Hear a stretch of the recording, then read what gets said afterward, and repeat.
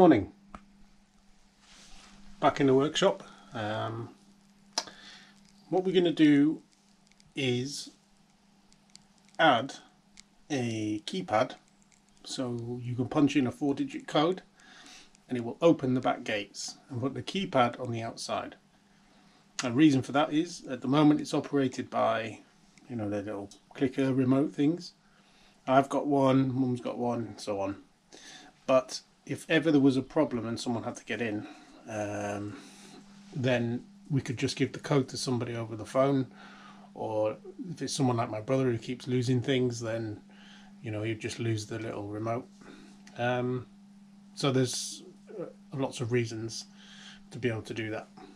So have a look at this. I recently bought a keypad uh, on Amazon, not very expensive, and uh, this is the unboxing.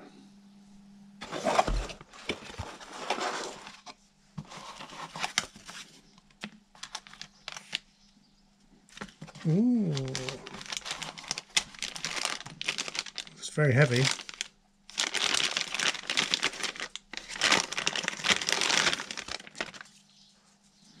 And there we go. Looks quite good.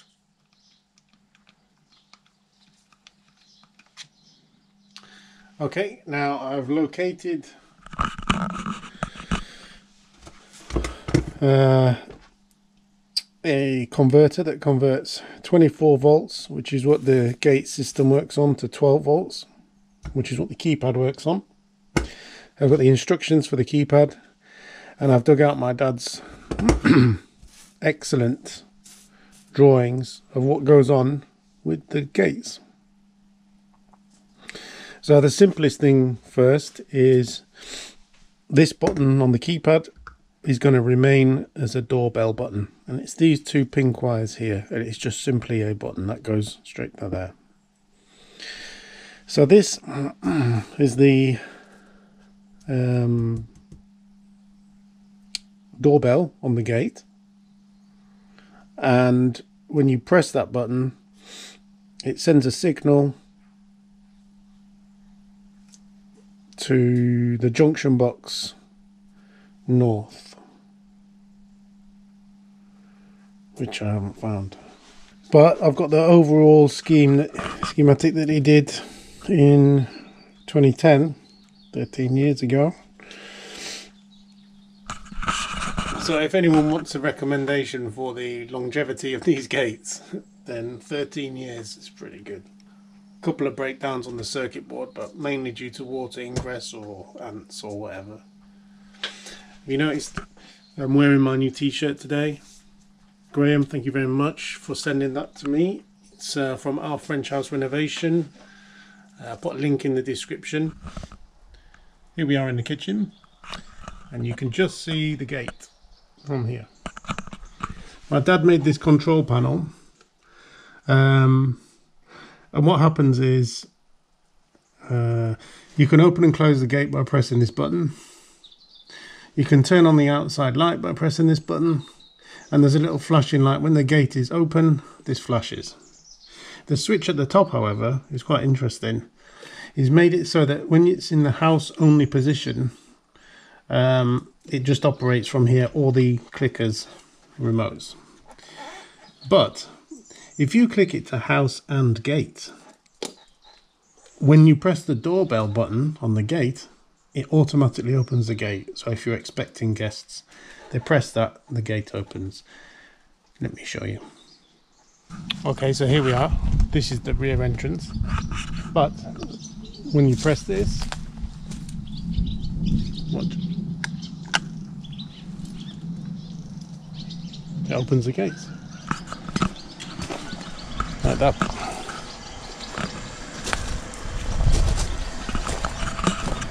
So that's when it's in house and gate mode. So we're going to use that facility and replace that doorbell switch with the keypad. If that makes sense.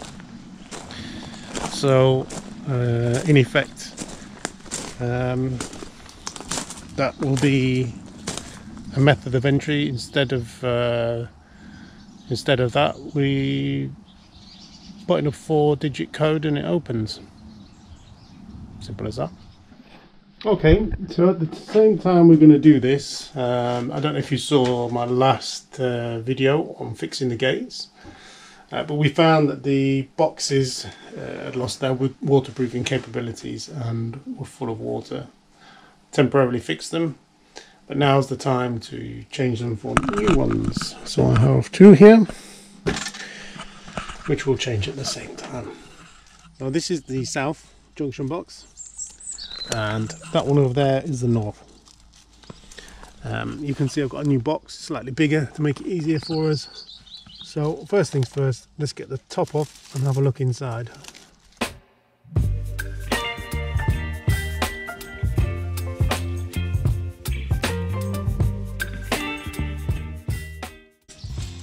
Guess first, first things first, take a picture because this looks like a nightmare.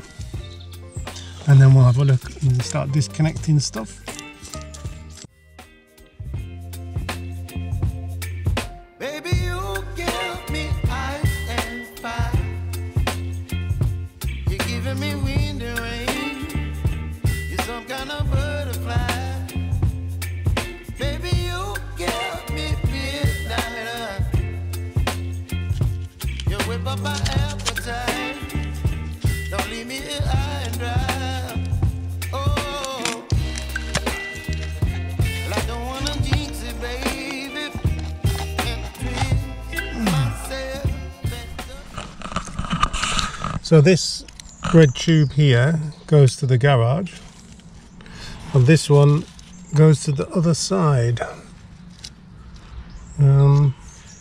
power for the gate probably and then power for the light on the other side and then the telephone cable is the data wires. Oh, interesting. Okay, so we've got the new box on. I put a bigger conduit to hide all these three cables. So all you'll see when it's done is these here. Not much I can do at the moment about these, I'll tidy them up later. Okay, I've changed uh, the wiring, all new connectors in, tidied it up a little bit, um, and now I can see what we've got spare. We've actually got three little cables that go to this the other junction box. Over there. Which I can connect to to use the keypad. So I'm gonna close this box up now put everything uh, back in its place test the gates make sure everything works as it should then we can move on on the other box um, and use that to um, open the gate so that's it for this bit. I'll see you shortly. When I get back from visiting Colin at French Countryside Life. So I'm going to go tomorrow um, down to my other house, stay over, uh, spend a day there, and then go on to see Colin and help him out with some plumbing slash bathroom related activities. So uh, yeah. I'll see you on this video very shortly, but for me it's going to be a couple of weeks. Good afternoon, back in the workshop. Uh, back with Rosie, you can see. You good girl? Anyway, we're back. Two weeks out to go and fit a bathroom with Colin, French Countryside Life. Um, if you've been watching my channel or his, you'll know all about it. So we're back to the gate, trying to put a what do you call it, uh, keypad uh, on the gate. So we, when you, when I left, uh, we just fixed one box on the side and renewed all the connections.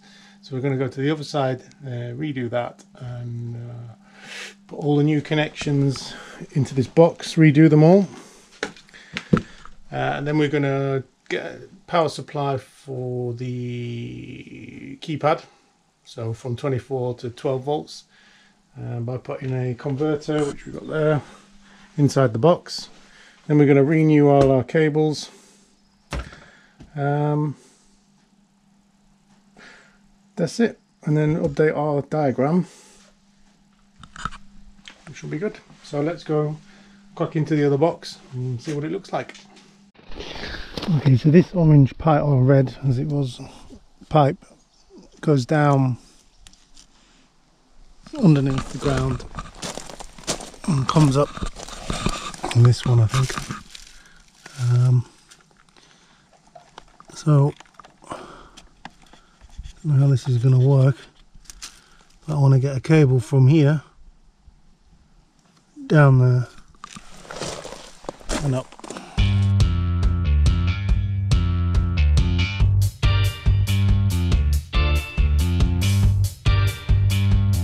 I'm not going to believe this, but I think I threaded that through and it's here. at the oh, no way, don't ever. Let's, see. Hmm, there we go, through. I can't even believe it. What do you think, Rosie? Can't believe it, can you? So I can pull a cable through now. Oh, lovely. Okay, so I've got power cable and uh, I'm just going to run through a LAN cable as well, just in case, because I'll probably do all the connections in here, so there's only one box. I've got to pull that through now to the other side.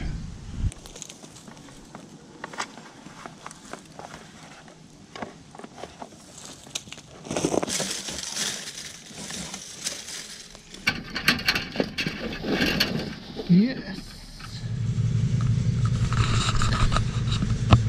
Alright, that's all redone with new connectors as you can see. Uh, I'll just show you, I've got this uh, Cat5 cable so I can loop it in straight down this box and in, into the other one. And this is where the new keypad's going to go. So I can wire it all from the other box so I don't need to bother with this. Okay, I just tested the gates, they open fine. Um, so what we're going to do now is take this box off and see what's behind. Here we go. So it's just a switch. Um,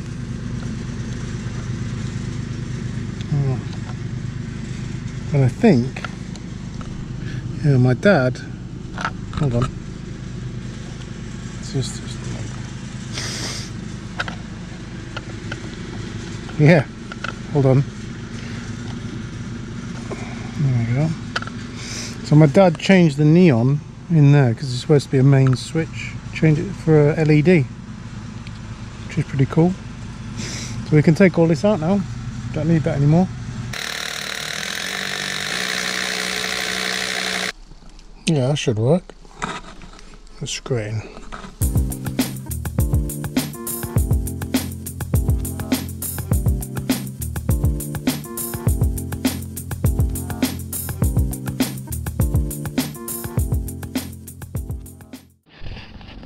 There we go. So I'm just going to tighten that up there. Uh, you do see this bit of cable instead of being it drilled all the way through, but right, we're all wired in. Uh, guess we better test it out, see if the keypad works. Right, I'm going to put this one inside, and then we'll test it out. Right, let's power it up, see what happens. We should get the lights light up. Yeah.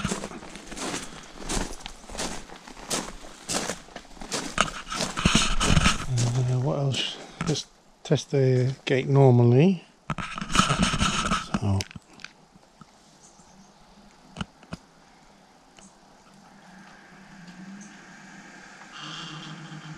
So that works.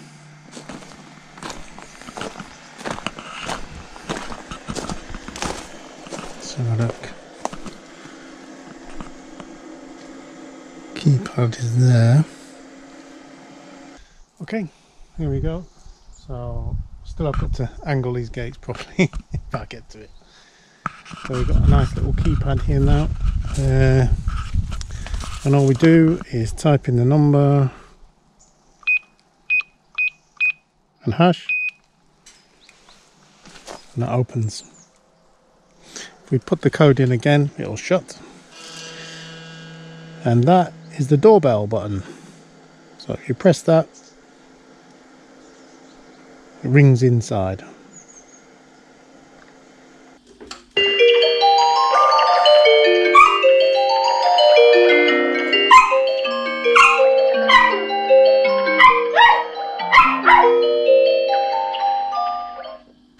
So that's it then. Um, that's it for this video. If you found this mildly entertaining, you can give me a thumbs up, leave a comment, uh, or you could even buy me a coffee. Um, I'd just like to say thanks to Shona for uh, buying me a coffee.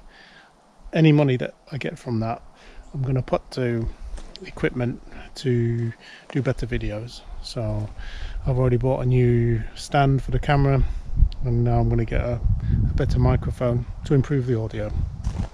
So you can always do that and have a look back through my other videos. Be something interesting there for you. Um, and that's it really. So uh, I'll see you on the next one